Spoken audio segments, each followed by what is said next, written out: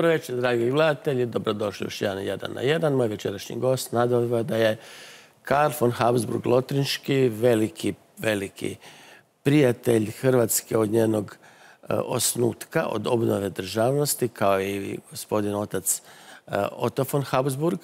E, I nimalo čudno da vas pozivamo evo u vrijeme kada je Hrvatska opet ugrožena ovim nesrećama od korone i, i zemljotresa.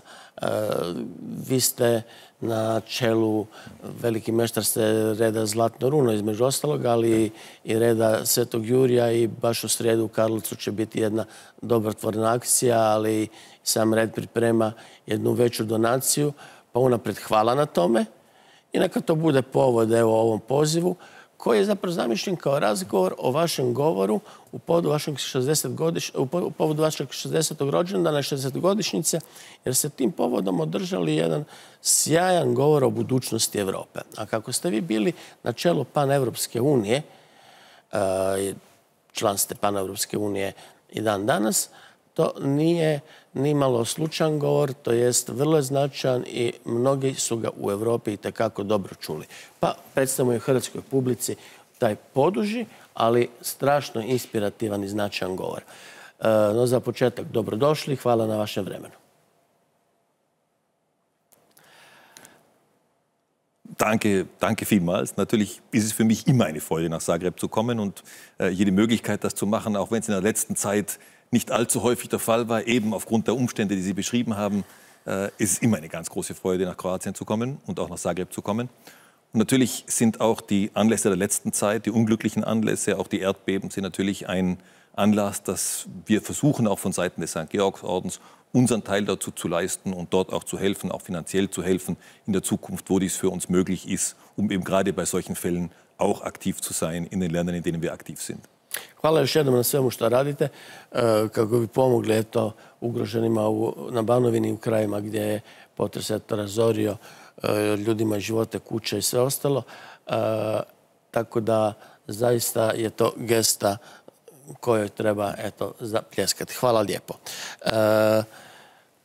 Spominjući se svoga gospodina oca, rekli ste da onaj koji ne zna odakle dolazi, ne zna ni kuda ide, zato što ne zna gdje stoji.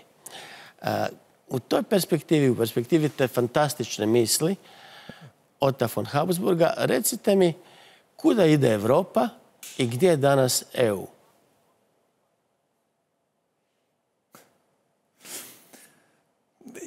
Ich glaube, prinzipiell ist mein Vater mit dem Spruch, den er gesagt hat, immer gesagt hat, man muss sich selbst positionieren können. Man muss sich geografisch positionieren können. Man muss wissen, dass man der Geografie nie entgehen kann. Man muss sich geschichtlich positionieren können. Nur wenn wir Geschichte können, können wir auch in die Zukunft ausblicken. Und man muss sich auch wertemäßig orientieren können, damit man eben weiß, wo kommen an sich meine Werte her. Nur so kann ich mich im Grunde genommen in der Gesellschaft und in der Geschichte auch platzieren. Wir sind natürlich in einer Zeit eines unglaublichen Umbruches und speziell auch äh, in Europa. Ich meine, jetzt, wenn man mal beiseite lässt, die Situation, die Corona für uns alle geschaffen hat und wo wir heute noch gar nicht genau wissen, wo dieser Zug wirklich hingeht und wie lange wir dadurch noch behindert sein werden und wie lange dies uns Schwierigkeiten bereitet wird, muss man trotzdem sagen, dass Europa natürlich mit riesigen Schwierigkeiten zu kämpfen hat. Deswegen war es für mich natürlich auch besonders wichtig, zu sagen, ich nehme gerne auch den Anlass, einer größeren Veranstaltung, eben zum Beispiel auch meines Geburtstags damals, zu sagen, es ist immer wichtig, einmal im Jahr, äh, wenn man so will, ähm, Buch zu führen und zu sagen, wo steht dieses Europa eigentlich da? Wo sind die Schwierigkeiten? Wo kann man Dinge wirklich verbessern? Und das aber auf der Basis dessen, dass man die Geschichte von Europa kennt. Und ich habe die Möglichkeit gehabt, mich schon sehr, sehr lange mit Europa auseinanderzusetzen. Ich habe natürlich für uns Kinder zu Hause gab es wirklich immer politische Gesprächsthemen und das war natürlich auch Europa immer ein Thema, das von großer Wichtigkeit war, ob es beim Abendessen war, ob es im Gespräch mit meinem Vater war. Es war immer ein Thema, das sehr präsent war und deswegen auf der einen Seite gewinnt man eine unglaubliche Zuneigung zu unserem Kontinent, weil er eben unheimlich viel dieser Welt gegeben hat. Aber auf der anderen Seite natürlich auch das Gefühl, man muss versuchen, hier etwas beizutragen, um diesem Kontinent in die Zukunft hereinzuhelfen. Je li problem da ja odmah problematiziram tu Europu u tome što, kako ste vi sami kazali, a citirali ste slavnog čovjeka, sjetit ćete se sami imena, što današnja Evropa ima previše računovođa, a premalo državnika. Pri čemu na državnike, kad, eto, da odmijem ilustriram gledateljima, recimo, ste misli na jednog de Gola. A računovođe nećemo nabrati.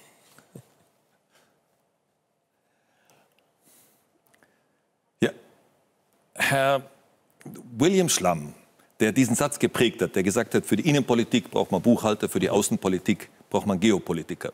Der hat eigentlich genau gewusst, wo es hingeht. Er ist jemand, der ideologisch aus dem Zweiten Weltkrieg als Sozialist hervorgegangen ist und sich dann zu einem Konservativen gewandelt hat und eigentlich ein, äh, jemand, der also die ganze Bandbreite der verschiedenen Ideologien selber durchgemacht hat und sehr genau ähm, analysiert hat und sich selbst dabei hat auch inspirieren lassen. Und er hat festgestellt, dass es notwendig ist, natürlich, wenn man sich, wenn man sich großräumig platzieren möchte, auf Europa bezogen, dann muss man geostrategisch denken. Man muss denken, wo sind wir nicht in vier Jahren, wo sind, sind wir nicht nur damit ich weiß, wo es bei der nächsten Wahl hingeht, sondern wo möchten wir denn in 20 Jahren sein? Was soll unsere Position in 50 Jahren sein? Sollen wir noch entsprechend auf der Landkarte sein? Und natürlich war es da wichtig zu sagen, wir, wir müssen an äh, Europa als Ganzes denken und nicht nur an kleine Befindlichkeiten. Ich möchte ein Beispiel nehmen, was wir gerade in den letzten Tagen erlebt haben. Wir haben gehabt, dass der äh, hohe Vertreter für die Außenpolitik, Josep Borrell, äh, ist vor einigen Tagen nach Russland gefahren. Einige Länder haben ihn ganz klar aufgefordert gehabt vorher, zum gegenwärtigen Zeitpunkt, mit all den Diskussionen, die mit der Verhaftung von Alexei Nawalny zu tun hatten, mit den Demonstrationen, mit den über 10.000 Festnahmen, die es dort gegeben hat, nicht nach Russland zu fahren, sondern erst einmal abzuwarten, wie sich die Situation entwickeln würde, um dann die europäische Position einzunehmen. Er hat gesagt, nein, ich habe, meine, ich habe den Reise schon lange geplant und ich will äh, reden mit dem Außenminister Lavrov und ich möchte mich groß in den Medien zeigen. Hat dann aber festgestellt, während er in Russland war, dass er eigentlich von Außenminister Lavrov abgekanzelt wurde und dass er sehr klein gemacht wurde. Während einer Pressekonferenz hat er zufällig erfahren, dass Russland eine ganze Reihe von äh, Botschaftspersonal der Europäischen Union des Landes verwiesen hat. Das ist eine Erniedrigung. Und da hat man gemerkt, Josep Borrell ist der typische Buchhalter, der von Geopolitik wirklich keine Ahnung hat. Das ist der Punkt, wo wir ansetzen müssen, wo wir sagen müssen, wir brauchen Leute, die langfristig denken und die auch geostrategisch denken können. Sad kad ste spomenuli Šlama, dali ste mi šlagvor za jedno pitanje. Sjetili ste se u svom govoru svog odrastanja. I vi ste odrastali zapravo u državi blagostanja. Tada ste se zahvali prethodnom naraštaju koji je to omogućio. Sjetili ste se Edharta i tako dalje. No, zahvalili ste i Bundesbanci koja je pametnom monetarnom politikom to sve skupa pripremila. Ali, kad uh, ste već spomenuli Šlama, pa nije li on tamo 78. 978. čini mi se, već u jednom svom nekrologu za državu blagostanja pokazao kako je država abdicirala postavši država blagostanja. Dijelite li vi to mišljenje?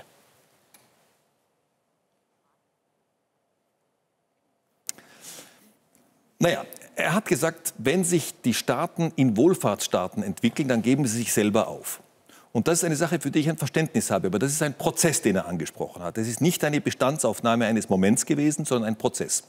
Wir können natürlich heute rückblickend sagen, dass der Elemente des Wohlfahrtsstaates uns natürlich speziell in der Zeit nach dem Zweiten Weltkrieg, ich meine, ich bin selbst natürlich Nachkriegsgeneration, ich habe als Kind zwar noch erlebt, dass ich in München gesehen habe, ganze Straßenzüge, die zerstört waren, aber, aber ich habe die Aufbauphase sozusagen in der Endphase noch miterlebt, aber dann die Stabilisierung Europas natürlich am meisten ganz stark miterlebt. Da hat man schon gesehen, dass das ein, ein Prozess war, der geführt hat davon, dass man gesagt hat, nach der Zerstörung des Zweiten Weltkrieges war zunächst einmal wichtig, dass eine Situation geschaffen wurde, dass das, das, Wirtschaftswunder möglich war, dass ein Mittelstand geschaffen wurde, dass eine solide finanzielle Basis geschaffen wurde, die aber vor allen Dingen durch Eigenverantwortung geschaffen wurde. Und das ist, glaube ich, der wichtige Augenblick, äh, diesen Begriff der Verantwortung hereinzubringen, dass man sagt, äh, die Wirtschaftstreibenden haben Verantwortung für ihre Handlung übernommen, für den Erfolg, aber auch für den Misserfolg.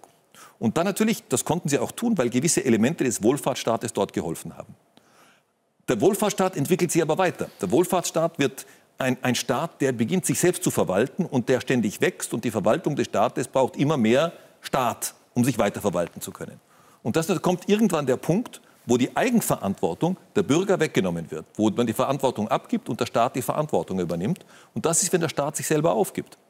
Und deswegen, es ist ein Prozess, den man kritisch anschauen muss, wo man sagen muss, die Eigenverantwortung der Bürger darf zweifellos nicht aufgegeben werden, die muss erhalten werden. Und man muss schauen, dass man dem überbordenden Wohlfahrtsstaat eben tatsächlich irgendwann den Riegel vorschiebt und sagt, bis hierhin und nicht weiter.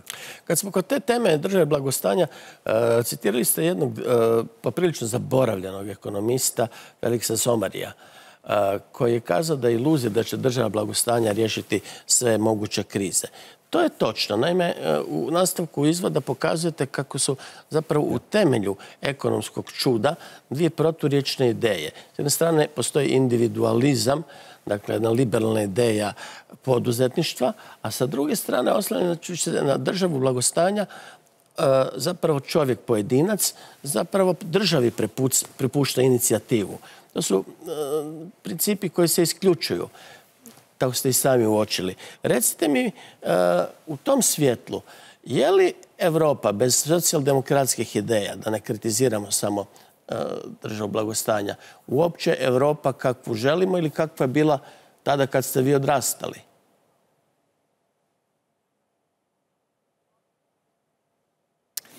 Man muss natürlich sagen, dass die sozialdemokratische Idee an sich auch eine große Wandlung unterlaufen hat.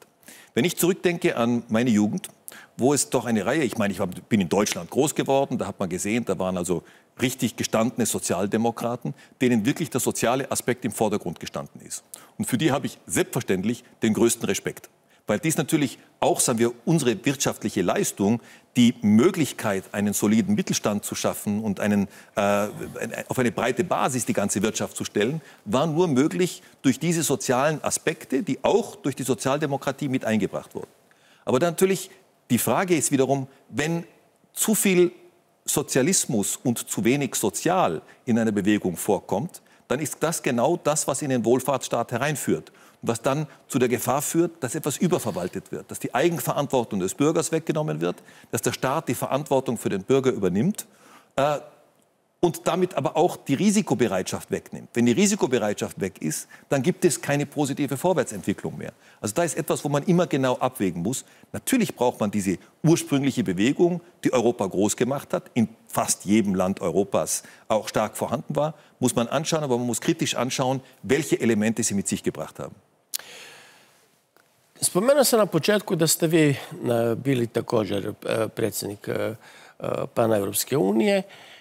No, vratimo se na same početke te paneuropske ideje. Kad se govori o današnjoj europskoj zajednici, Europskoj uniji, Europi kao moguće federaciji, Europi kao političkom entitetu, zaboravlja se da to nije sve skupa počelo sa zajednicom za ugljeni čelik i tako dalje, nego da se moramo vratiti tamo u vrijeme Prvog svjetskog rata, moramo se vratiti Kudenhofer ka alergiju i moramo se vratiti idejama koje nisu potpuno ostvarene. Naime, taj pametan čovjek već je tada vidio da je tu potrebna zajednička valuta, e, da e, se trebaju maknuti i ukloniti carinske barijere, da se treba realizirati slobodno tržište.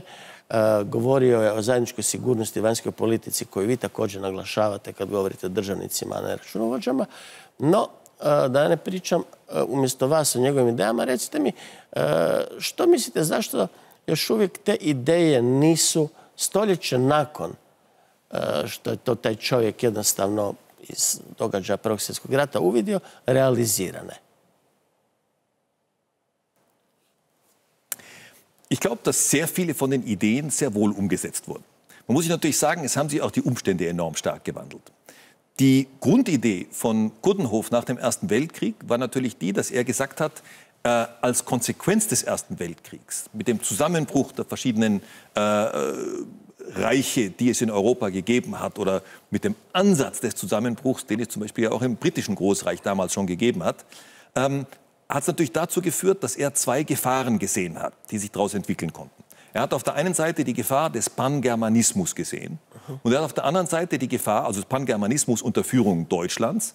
Und er hat ja wohl sehr wohl recht behalten, wenn man gesehen hat, was dann mit Hitler ins Dritte Reich hereingeführt hat. Und er hat das, die Gefahr des Panslawismus auf der anderen Seite gesehen, unter einer russischen Führung, dass es hier zu einer eben großslawischen Bewegung kommen würde. Und er hat gesagt, an und für sich müssen wir diesen nationalistischen Bewegungen müssen wir den paneuropäischen Gedanken entgegenstellen, indem wir sagen, wir sind ein Kontinent. Wenn wir uns in der Zukunft behaupten wollen in der Welt, müssen wir als Kontinent zusammenarbeiten. Und deswegen Paneuropa als Gegenpol zu Panslawismus und Pangermanismus. Das war dem Kuddenhof seine Idee und eben die Zusammenhalt auf der Basis einer gemeinsamen Außen- und Sicherheitspolitik, einer gemeinsamen Währungspolitik und ähnliches. Dann natürlich ging die Situation weiter, es kam in den Zweiten Weltkrieg und dann kamen die Gründerväter der europäischen äh, Gemeinschaft nach dem Zweiten Weltkrieg, die an und für sich diese Gemeinschaft weiter aufbauen wollten, auch auf, Ideen, auf den Ideen äh, Gutenhofs. Aber sie haben eine Sache auch ganz klar gewusst, sie wollten ein politisches Europa haben. Und sie wollten ein Europa mit einer politischen Dimension haben. Aber natürlich direkt nach dem Zweiten Weltkrieg war dies unmöglich, weil Deutschland in einer Situation war, dass man es nicht in, direkt in ein politisches Europa hätte herein integrieren können. Man hat es nur in ein wirtschaftliches Europa herein integrieren können.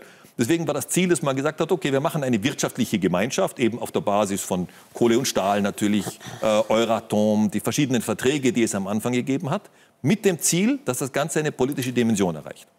Und die politische Dimension hat es ja auch erreicht, dann auch mit der ersten Direktwahl zum Europäischen Parlament 79, mit der Schaffung einer Institution wie der Kommission, die ja, wenn man so will, einer Art Regierung dieser europäischen Gemeinschaft dann auch entsprochen hat und auch weiterhin entspricht.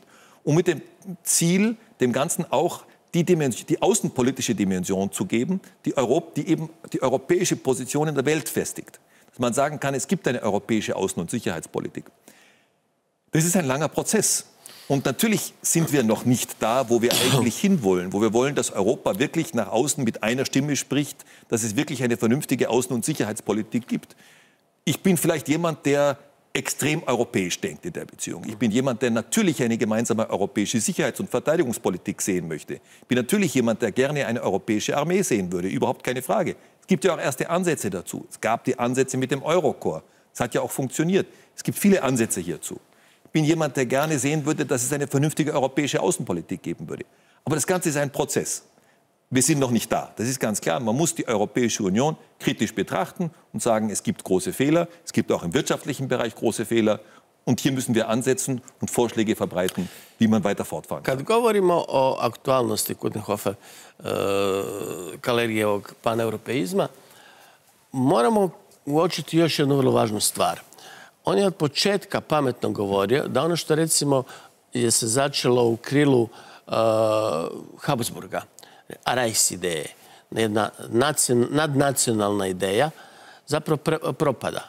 Propada zajednički kulturni prostor, ali propada i zajednički gospodarski prostor. Tada se e, Evropa rasipa u male nacionalističke ideje e, država koje su eto, suprotstavljene drugima, javlja se protekcionizam, nacionalizam, sva, moguća zla koja Evropa more onda kroz cijelo jedno stoljeće što porađa i bolševizam i nacionalsocijalizam. Recite mi, uh, kad gledate ovako u ovoj perspektivi, je li danas Evropa zrela za realizaciju svih tih ideja uh, ili smo mi i dalje daleko od uh, one početne raj, rajs ideje i, i dalje smo nekako ušančeni u te naše male državne nacionalizme. Die, Hauptproblematik, die wir sehen, aber das ist wirklich nichts Neues, sondern das ist ja eine alte Problematik, ist, dass wir sehen, dass der, der Geist des Nationalismus immer wieder im Moment einer Krise durchbricht und dass man glaubt, durch die Abschottung, die Sie angesprochen haben, dass man dadurch Probleme lösen kann ich glaube, wir sehen ein ums andere Mal, dass es nicht möglich ist, Probleme durch Abschottung zu lösen. Ähm, man kann in der Geschichte weit zurückgehen. Wir können zurückgehen bis zur Französischen Revolution und wir werden immer sehen, dass die Krisen in Europa durch einen übersteigerten Nationalismus hervorgerufen wurden, der dann möglicherweise wieder in einen Krieg hereingeführt hat. Man hat das im Ersten Weltkrieg gesehen, man hat es im Zweiten Weltkrieg gesehen. Immer wieder ist dies vorgekommen. Der Nationalismus ist wirklich das große Problem, gegen das wir vorgehen müssen. Und wenn man jetzt zum Beispiel anschaut, die gegenwärtige Krise, die wir haben mit Corona, dann sieht man, dass, die, dass immer wieder die Schuld auch auf die Kommission geschoben wird und man sagt, die Kommission hat sich nicht früh genug, also die Europäische Union hat sich nicht früh genug gekümmert um äh, die Frage, wie man dem Problem der Pandemie besser entgegenwirken kann. Was oft vergessen wird, ist, dass Anfang Februar letzten Jahres. Ich glaube, wenn ich mich täusche, war am 6. Februar letzten Jahres. Also zu einem Zeitpunkt, als gerade man begonnen hat, in Europa über die Pandemie zu sprechen, als China im Vordergrund gestanden ist, als es gerade so begonnen hat, die ersten Fälle in Italien zu geben, war es so, dass die Kommission geschrieben hat an alle Mitgliedstaaten und gesagt hat, wir sehen eine Pandemie, die auf uns zukommt. Was wollt ihr Mitgliedstaaten, dass die Kommission und die Europäische Union als Union unternimmt, um das zu machen? Und die Antwort von jedem einzelnen Mitgliedstaat war, nein, nein, Moment, das ist Gesundheitspolitik. Gesundheitspolitik ist nationale Frage. Ihr habt damit nichts zu tun. Das Resultat war, dass die Kommission gesagt hat, und bitte, wir reden von Anfang letzten Jahres, gesagt hat, okay, wir konzentrieren uns auf zwei Bereiche, wo wir sowieso arbeiten können. Das eine ist die ganze Frage äh, Beschaffung von Schutzausrüstung und das zweite ist die Frage Finanzierung von Forschung. Und das sind die Bereiche, wo die Kommission von Anfang an aktiv geworden ist. Und dann natürlich, als die Krise immer stärker wurde, hat jeder Mensch begonnen, auf die Europäische Union zu zeigen und sagt, ihr seid schuld, dass das diesen starken Weg genommen hat in Europa.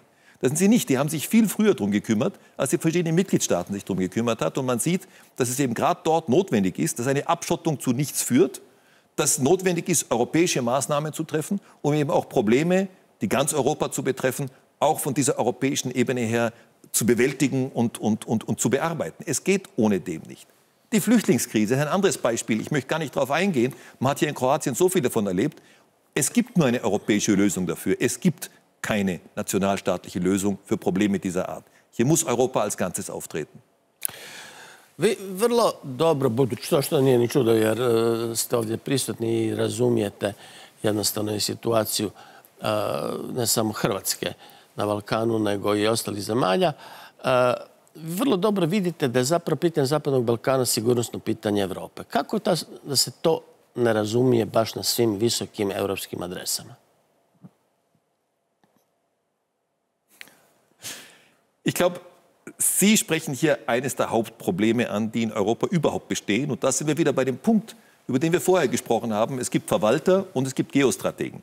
Wir haben in Europa derzeit leider hauptsächlich Verwalter. Und die sehen zwei Möglichkeiten der Entwicklung für die Europäische Union. Die sehen die Möglichkeit der Vertiefung, also der Verstärkung der verschiedenen Verträge, die es gibt, oder sie sehen die Möglichkeit einer potenziellen Erweiterung. Aber was die wenigsten sehen, ist, dass das eine ohne das andere nicht geht. Dass es hier notwendig ist, die große Perspektive Europas nicht aus den Augen zu verlieren. Europa ist nicht die Europäische Union. Wenn die Europäische Union einmal zu einem Vertreter Europas werden möchte, dann muss sie sich auch um die Staaten kümmern, die noch nicht dazugehören. Und wenn wir jetzt anschauen, ein Ziel der Europäischen Union von Anfang an war immer, möglichst viele Staaten mit in den Administrationskreis der Union aufzunehmen, weil dies auch Sicherheit bedeutet hat. Ich erinnere mich noch gut daran, als Spanien und Portugal beigetreten sind zur Europäischen Union, der Europäischen Gemeinschaft damals. Und da war es natürlich so, dass man gesagt hat, ja, es gab vorher den Diktator Franco in, Sp in, Spanien, es gab auch in Portugal einen Diktator. Wenn die einmal zur europäischen Gemeinschaft dazugehören, dann besteht die Gefahr, dass sich da etwas radikalisiert, nicht mehr. Und das hat absolut gestimmt. Und genauso müssen wir auch heute sagen, wenn wir auf den Balkan schauen, dass es eine Reihe von Staaten gibt, die noch nicht zur Europäischen Union dazugehören, die aber, wenn man sich das geografisch auf der Karte anschaut, ja von Europäischen Union Mitgliedstaaten umgeben sind. Also wo für jeden vernünftig denkenden Menschen automatisch die, das, das Konzept ganz klar sein muss, dass es notwendig ist, diese Staaten in die Europäische Union aufzunehmen. Jedno potpitanje. To nije samo stvar primanja naravno Kosovara i primanja i Kosova i Srbije i tako dalje. Vi tu spominjete naravno i, i, i, i Ukrajinu i Bjelorusiju. Natürlich. Koji je onda koncept Evrope? Jednostavno meni privatno rekli vrlo zanimljivu definiciju. Kad sam ja pitao u takvom razgovoru, dobro, dokle je ta vaša Evropa u vašoj viziji, a vi ste pametno odgovorili, pa Romano, sve dotle, dokle, kad ljude pitate u njihovoj vlastitoj zemlji žele li živjeti u skladu s evropskim vrijednostima, ovoga, ona dopire. Ako žele, i to je Evropa. Dakle, Evropa je Ukrajina, Belorusija. Da li se e, današnja Evropska unija dovoljno sa dovoljno svijesti odnosi kako treba pa Bjelorusiji, sprem Bjelorusije recimo ili ukrajinskog problema? Die, die Menschen, die geostrategisch denken, die mhm. haben diese Dimension. Das ist ganz klar. Für mich ist es völlig logisch. Eine Europäische Union wird niemals komplett sein ohne die Ukraine, ohne Weißrussland. Das ist für mich undenkbar. Wir haben derzeit die sogenannte Nachbarschaftspolitik mit der Ukraine. Nicht zuletzt auch, weil wir irgendwie dieses Gefühl haben, wir müssen vorsichtig sein mit Dingen, die sich in Russland abspielen und Ähnlichem. Das ist für mich eine völlig falsch angebrachte Angst. Wir sollen als selbstbewusste Europäer auftreten. Hier trifft natürlich das alte Prinzip zu, dass man sagt, äh, wenn man sich zu Tode fürchtet, ist man auch gestorben. Also man darf sich nicht fürchten vor dieser Politik, sondern äh, man muss die Politik offensiv betreiben und sagen, natürlich gehört die Ukraine zu Europa, natürlich gehört Weißrussland zu Europa dazu. Das ist ganz klar. Und es wäre absolut notwendig, eine Perspektive für diese Staaten zu schaffen. Ja? Für die Balkanstaaten gibt es eine Perspektive. Es geht viel zu langsam, äh, aber es gibt eine gewisse Perspektive. Für die Staaten wie, wie äh, Weißrussland und die Ukraine ist es wichtig, wirklich die Nachbarschaftspolitik in eine Beitrittsperspektive umzuwandeln, damit diese Staaten auch wissen, Europa steht hinter ihnen, sie können selbstbewusst auftreten und sie haben eine langfristige Perspektive, auch Mitglieder der Europäischen Union zu werden. Und ich sage das auch wirklich, ohne mich jetzt um die Union zu fürchten, weil ich sage, die Kriterien, die ein, zu einer Aufnahme führen in die Europäische Union, sind ganz klar definiert. Wenn diese Staaten die Kriterien erfüllen, dann sollte man sie auch aufnehmen.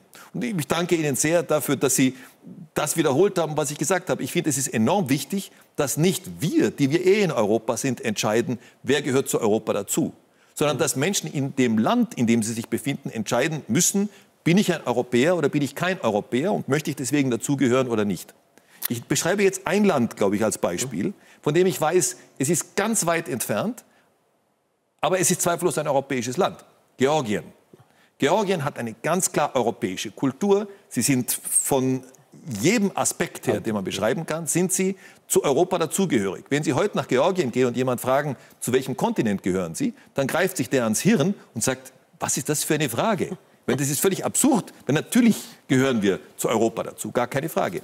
Und das ist der Punkt, dass ich sage, wenn wir zu einem Land hingehen und dem Land sagen, du bist nicht Europa, dann ist es ja nichts anderes als eine Art äh, neokolonialistischen Approach, den wir hier nehmen, dass wir sagen, ein Land sagen wollen, wo es wirklich hingehört. Ich glaube, das Recht haben wir nicht und diesen Kolonialismus sollten wir hinter uns lassen. Sondern da sollte man die Entscheidung auch in den Ländern lassen und sagen, jawohl, wir wollen eine Perspektive schaffen für diese Länder, um zur Europäischen Union dazuzukommen. Iako ste glava obitelji koja je šest stoljeća vladala Evropom i čovjek bi rekao morate biti tradicionalisti konzervativac, vi ste nepopravljiv ide, uh, liberal. Ja sam također ovaj, sklon liberalnim idejama, pa to prepoznajem. Naime, e, u svom govoru ste pogotovo inzistirali na dvije dimenzije europskog identiteta. Jedna je vladavina prava, druga je sloboda. Ajmo se posvetiti prvome. E, govoreći o prvome, vi ste posegnuli za mitološkim povijesnim asocijacijama, govorili ste o Feničkoj princezi Evropi, govorili ste o Berlinskom kongresu, ali ono što je bitno, zaključili ste da ono što je u temelju zapravo eh, takvog nazora, rule of law, u, u Evropi podrivano odnosima moći. Na što mislite?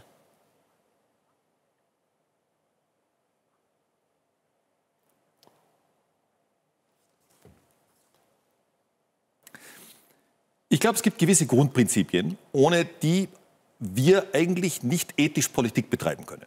Dazu gehört natürlich die Rechtsstaatlichkeit. Ich glaube, das ist eine Sache, die absolut klar ist. Für mich gibt es einen langen historischen Bezug zu der Rechtsstaatlichkeit. Das bedeutet wirklich, dass das Recht jeden betrifft, dass man sich auch daran zu halten hat. Wenn wir aber für die Rechtsstaatlichkeit einstehen, und ich möchte den Europäer sehen, der heute zu mir kommt und sagt, die Rechtsstaatlichkeit gilt nicht für mich, weil dann ist er kein echter Europäer, dann muss man aber auch sagen, es ist notwendig, dass man sagt, es zählt nicht nur das nationale Recht dazu, sondern es zählt auch das internationale Recht dazu. Ich komme jetzt wieder auf ein Beispiel zurück, was wir eben äh, schon mal angesprochen haben. Das ist das Beispiel mit Russland. Hier muss man sagen, was wir momentan sehen, ist zweifellos keine Rechtsstaatlichkeit, was dort geschieht. Es ist ein, eine, eine flagrante Verletzung internationalen Rechtes und eine flagrante Verletzung von Normen, die Russland unterschrieben hat und sagt, es trägt sie mit.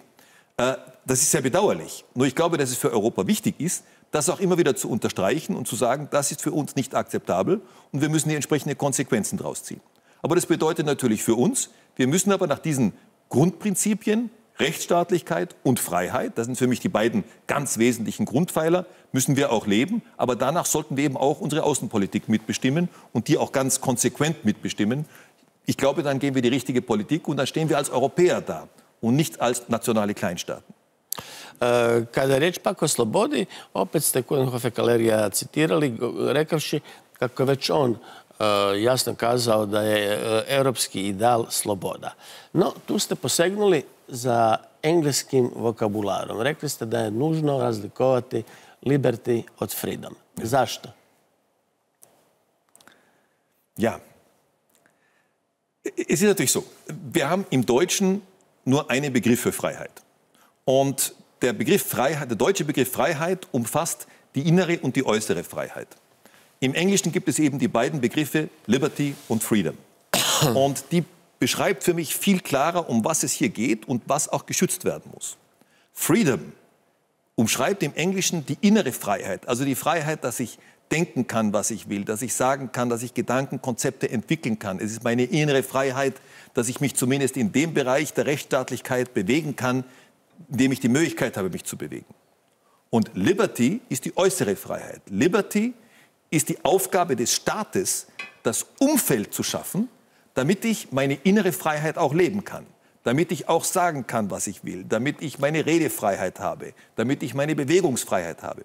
Also Liberty muss die Hauptaufgabe des Staates sein, um Freedom für den einzelnen Bürger zu gewährleisten. Also da ist die englische Sprache einmal erstaunlicherweise präziser als die deutsche Sprache, dass es hier diese beiden Teilbereiche der Freiheit gibt. Und ich glaube, das ist wichtig, konstant auch den Staat darauf hinzuweisen, diese Liberty zu unterstützen und sie auch zu verwirklichen. I organiziraju li današnje evropske države taj prostor slobode?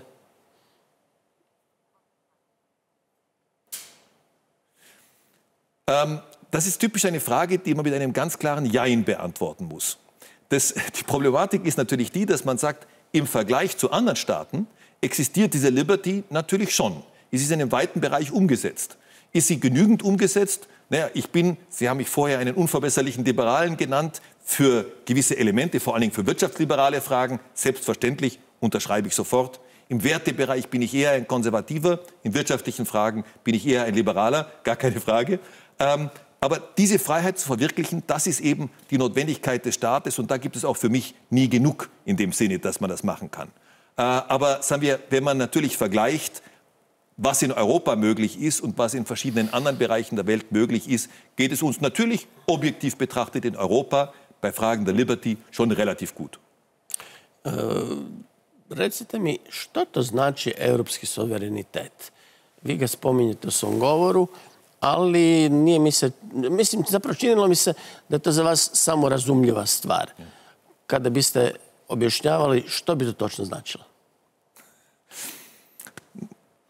Naja, es ist natürlich so, dass man auch in einer Rede nie genügend Zeit hat, Dinge wirklich auszuführen.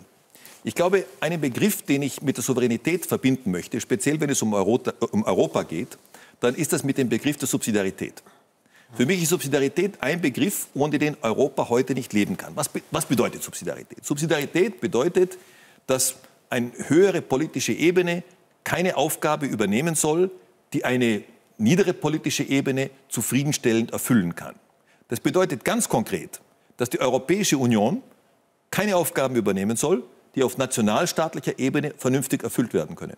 Aber es bedeutet natürlich auch in den Mitgliedstaaten, dass das ein System ist, das sich weiter nach unten fortsetzen muss. Was auf Bezirksebene, was auf kommunaler Ebene, aber auch auf familiärer Ebene vernünftig erfüllt werden kann, soll nicht durch die höhere Ebene erfüllt werden. Das heißt, es ist das klassische ähm, Bottom-up-Prinzip. Es ist also nicht Top-down, wie man uns immer wieder sagt, dass die Europäische Union ist, sondern es ist das Bottom-up-Prinzip. Es ist das Prinzip, dass die Entscheidungsgewalt von unten heraufgeht. Und so muss die Europäische Union strukturiert sein. Anders ist es nicht möglich. Wir sind eine Struktur mit sehr, sehr vielen Sprachen, verschiedenen kulturellen Aspekten, sogar mit verschiedenen Religionen. Und da ist es notwendig, dass diese Besonderheiten, die eben überall existieren, dass die erhalten bleiben. Das geht aber nur mit dem Prinzip der Subsidiarität. Jetzt ist es ja so, Subsidiarität ist im Maastricht-Vertrag festgeschrieben als ein Grundprinzip der Europäischen Union. Ein Problem, das wir heute haben, ist, dass der Europäische Gerichtshof noch nie dieses Grundprinzip der Subsidiarität ausjudiziert hat. Also da wird man mal sehen müssen, wenn es ausjudiziert wird, wie dies wirklich definiert wird. Weil viele Menschen denken, Subsidiarität ist ein politisches Prinzip. Das ist falsch. Subsidiarität hat zwar eine Auswirkung auf die Politik, ist aber ein Gesellschaftsprinzip. So, die Gesellschaft ist aufgebaut von unten nach oben und genauso sollte die Politik von unten nach oben aufgebaut sein. Und das bedeutet für mich letztendgültig die Souveränität, die es in Europa geben muss. Das heißt, die europäische Ebene wird die Souveränität nur für gewisse Aspekte haben, die auf nationaler Ebene nicht umgesetzt werden können. Und so setzt sich das weiter nach unten fort. Deswegen glaube ich, diese beiden Begriffe, Subsidiarität und Souveränität, sind zwei Begriffe, die man für Europa immer in einem sehen muss. Vi ste između ostaloga studirali ekonomiju, tako da ovo neće biti slučajno pitanje. E, prijeti Evropi planski, e, plan, e, politički kontrolirana planska ekonomija? Stekao sam dojam čitajući taj vaš govor da na dva, tri mjesta zapravo izražavate bojazan od toga.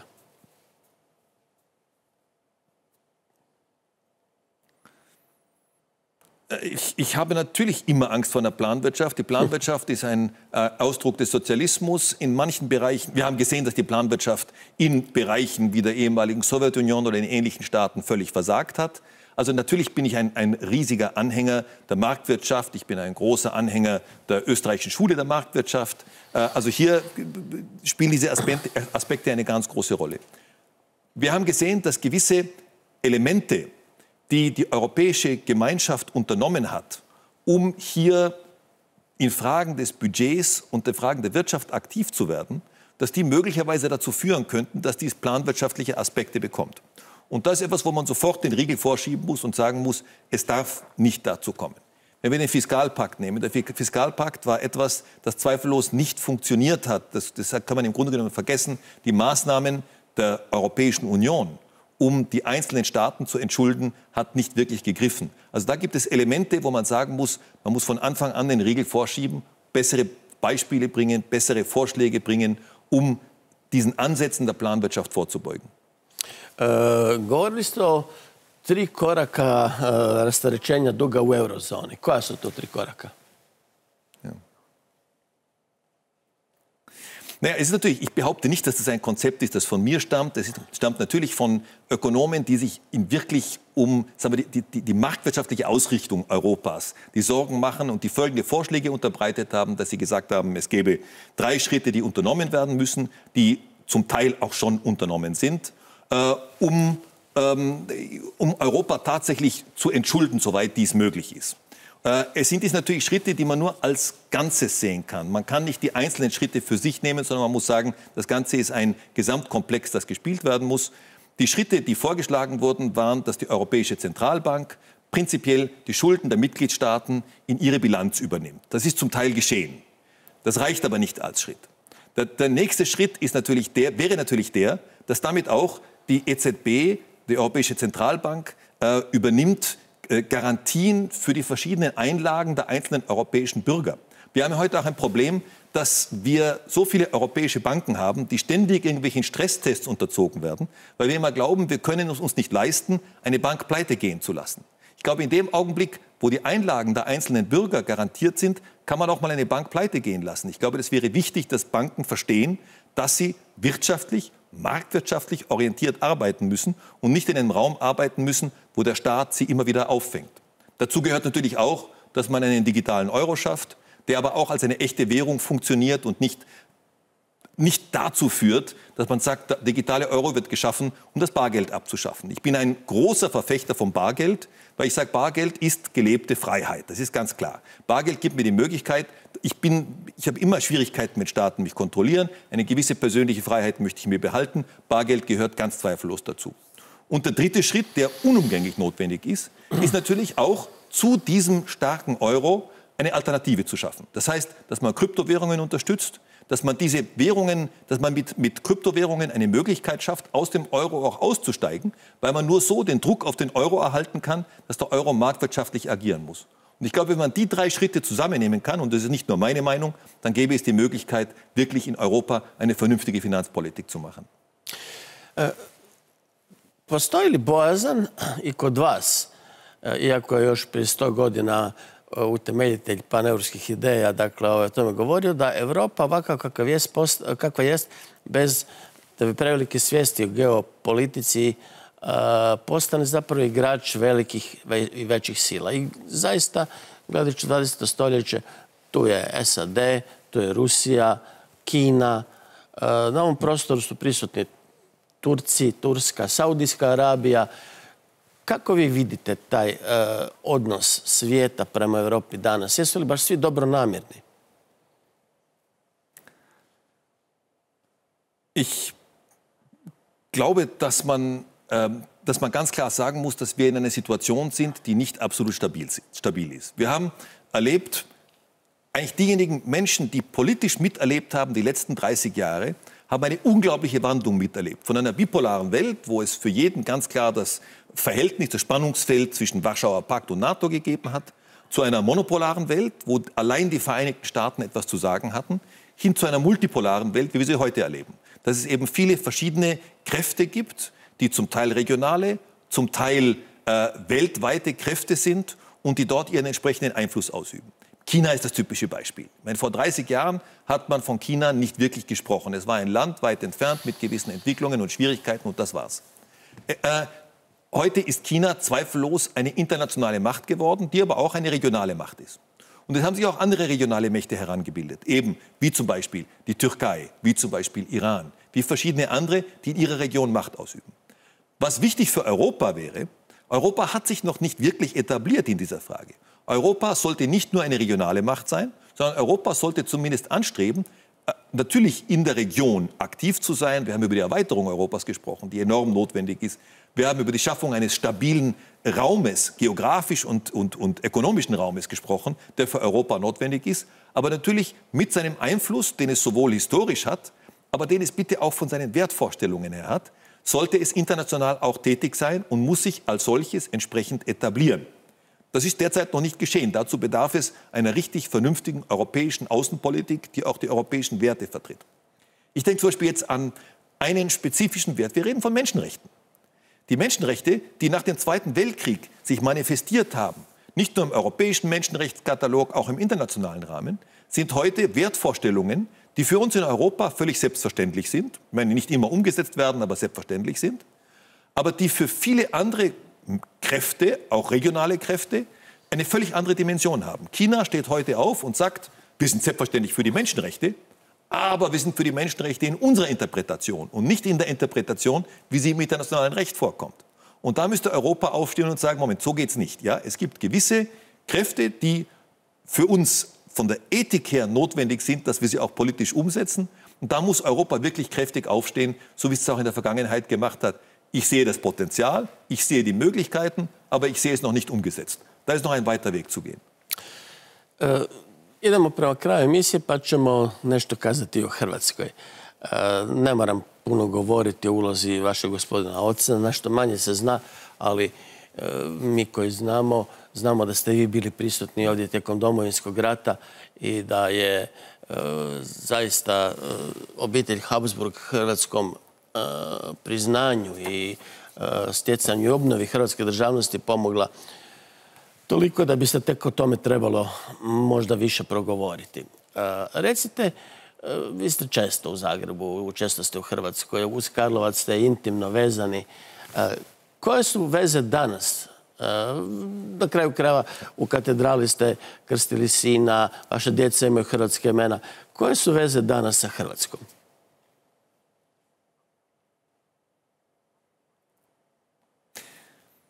Ich glaube, dass es für mich etwas ist, was tief verwurzelt ist. Ähm, ich erinnere mich sehr gut an Unterhaltungen, die ich mit meiner Großmutter geführt habe, mit der Kaiserin Zita, wo sie immer praktisch die Kroaten dargestellt hat als das Volk, das für sie Treue bedeutet hat, wo die eine spezielle Beziehung dazu bestanden hat.